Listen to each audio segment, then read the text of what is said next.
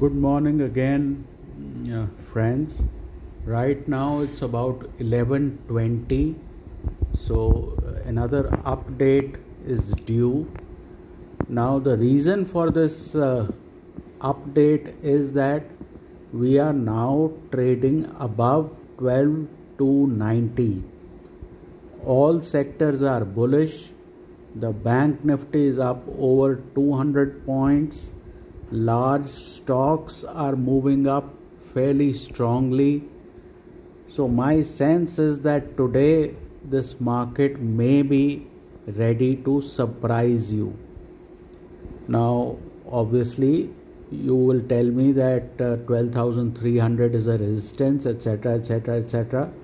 But I think the market also knows that. So, what I have done is I have taken my regular long position and I have put a 15 point stop below my entry price. If this market is going to break out, it will not go without me. And uh, if it takes my 15 points, I am I have no problem, no issue with that. Can we dip from 12300 we can. But what happens if we cross it? You know all hell will break loose. Everybody will pile on. And i don't want to stampede with the crowd. Okay? So this is that sort of trade which some people would consider high risk I would think it is a low risk trade because everybody does not expect a certain event to happen. If everybody doesn't expect us to go beyond 12,300, the market will make sure that it does that. Anyway, I have uh, just informed you about what I have done the issue is that the US market is at new highs. So far, you know, all the way from 12,800 to this point, we have come up not because we have done anything great. We have done this because of the US market.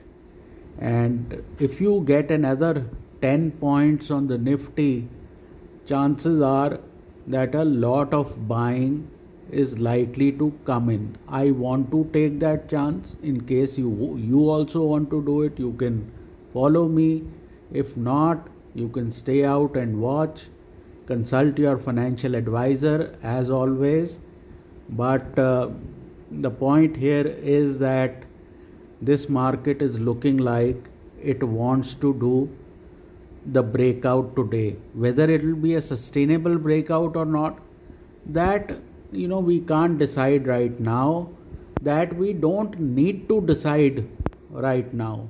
Right now i am looking at my 50 points and uh, that is about my vision. I don't want to speculate what will happen next week next month in the budget etc etc etc so that should be it for right now. We'll probably come back at about uh, in a couple of hours 130 uh, 145 types.